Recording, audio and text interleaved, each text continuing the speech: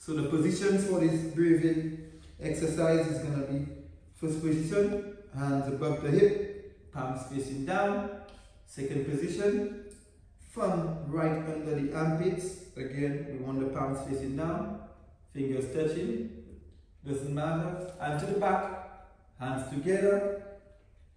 Place to the back of the neck. Really reach to the back, stick the chest out. Very good.